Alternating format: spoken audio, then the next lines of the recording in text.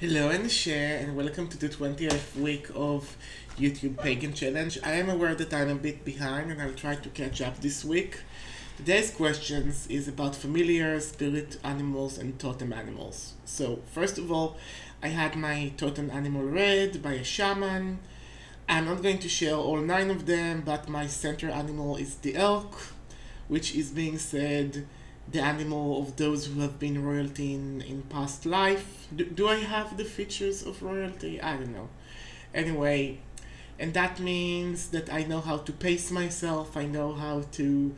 Uh, I might not get first in a race, but I, I would get to the end of the rope without tiring myself completely, which is a true medicine. I know how to conserve resources, and my east animal is a spider in the spider medicine, some tribes consider this tribe to be a trickster or a satanic spirit.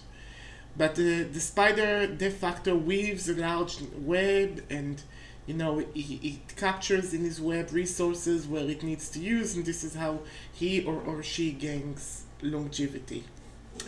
Okay, now uh, I have other power animals. One of my power animals is the octopus and the other power animal is and, and it's I, I will show you in a second that I have a pro that even though I love the octopus I have one missing. So I will tell you where. And I love walk and I have familiars which I'm not I have familiar spells which I'm not in in title to speak of so I, I can tell you I have them. And the rest of it you know figure it out on your own what, but my work with animals goes much farther than that. I have a giant collection of Hopi Kachina dolls that some of the Kachinas are animals, and I have a large collections of Zuni fetishes. And I have Zuni fetishes of dinosaurs and everything, but I don't have a Zuni fetish of an octopus. So help me find my missing friend. I really would like to have a Zuni octopus fetish. But I've brought some of my octopus, uh, sorry, some of my Zuni fetish animals to show to you. Well, the, the uh, there are six directions in the Zuni medicine wheel, and uh, I, I've brought you the the animals that are in the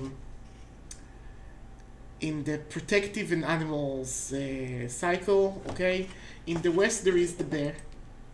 Yes, and I am aware this is quite a big alabaster bear. For Zuni fetishes, it's a big, big fetish. It has an offering of an arrow, and it has an offering of some turquoise on his neck. It's a chunk of turquoise and like some turquoise powder in his mouth. And this animal fetish made from alabaster and heishi, you see this, it's called heishi shells, or maybe I'm not mispronouncing it, because I only read this word, word before. It's unsigned, but uh, bears are very good for healing. You can use the bear fetish for healing, and I use them for healing spells. Okay, so this is the east animal. Um, the north animal is the is the mountain lion. This mountain lion is carved from turquoise and has a heart line that shows where the heart is, showing that this animal that this fetish is powerful and loved. It's turquoise with some red coral. And the, the mountain lion helps for leadership, helps for, you know, it's a good hunting charm. It helps to a lot of things. Needless to say that I'm maintaining my animals well fed and taken care of, and you know, I, I commune with the spirits every once in a while. And this uh, mountain lion, by the way, was made by uh, Andras Kudelensi. Again, I'm sorry if I'm mispronouncing the names. You can find, I'm just telling you the names in case that you want to buy some. But Zuni fetishes are expensive. It's not a cheap art. So if you want to invest in, in a set for your for your uh, magic, go right ahead. I'm all for it. The east is the wolf. And this is uh, twin wolves mates from antler that they have turquoise eyes. Look i'm trying to hold this in a way that you'll see it properly. This is one side. This is the other side and this is the front and this is the back. Look can you see the woolly tails? Okay. This is a twin wolves and those are protective animals because they hunt in groups and also the wolf is considered a great teacher so you can connect to its spirit then this was made by max Laate his name is max l a a l double a l double a t e max Laate he makes many uh, antler carved animals with great precision and this is one of my favorite. This is the South. This is the badger. The badger is a strong warrior animal. This one was made by Adrian Cachini, I think. And it has little feather and it has a, a bit of turquoise and a bit of uh, coral. It's made from uh, Picasso marble. And actually, this was one of my first fetishes, and I'm very much in love with this one specifically and the uh, it has jet eyes, jet black eyes, and I bet this is real jet because they had access to jet. And the badger helps you not only to fight your battles, but it's a it helps shamans to get the herbs and materials they need to make their medicine.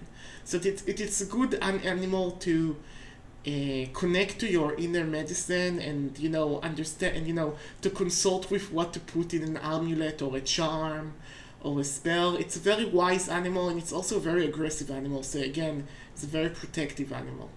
Now the two directions left are and you know down. And this is i don't remember who carved this one. This is a mole. This is the animal of down. And it's uh, it also it has a heart line. And it protects fields and crops i see it as, as, as something that protects one against poverty okay? And there is up. And up is the eagle. This eagle was made from pipestone which is a very sacred stone for native americans. And i don't remember who the one that carved it. There is a signature. But anyway, it's an artist that makes uh, his carvings very expensive. But this one was with a broken beak. I don't know if you can see it. Can you see it? It's a big got broken wild carving, so it was it was on sale, and I bought it very cheaply. And I don't mind when they get injured because for me they're not losing their magic power if they get injured. They still require love. Animals do get injured. Not every animal you will find in nature is perfect and and I find and you know and an eagle is helping to connect with the great spirit and astral projecting and stuff. And I would like to see more witches, you know, especially witches that have the money to get some Zuni animals or you know find some Zuni animal fetishes that were carved by the fetish carving families to use them. And I was actually introduced to the to the notion that you can use them by Judika Illes in her book of. Uh, you know, 5,000 spells, but ever since then I just fell in love with those animals and I care for them and love them as I would anyone, you know, anything. So that's one of my power animals. And this was made for me by Sheloya. This is, Sheloya is my friend, she's here on YouTube. I found this wing after cats ate the bird, I found this wing and I wing, and you know it was attached to another wing. When cats, when they eat a, a pigeon, the two wings are left. So I took the two wings, I put them in salt, I I dried them, and Sheloya made the hanger for the for me, with uh, uh, this is the tooth of a water buffalo, this is a curio hand of a gator, which I had to glue because it it constantly fell off and this is uh, a seashell that I found. And it's hanging in my room and it's a protective item okay? So I really like to work with animals and animal parts and with I, I like animal magic in general. So yes I have my fetishes and, and my guards all around me and they make me feel very I, feel that the more I'm being connected to my animals, I'm also more connected to my humanity because my humanity is based on the fact that I'm an animal. And so is part of my magic. And I know that in many cases I stand alone, but this is it. Okay, so this was week 28. Thank you. Goodbye and a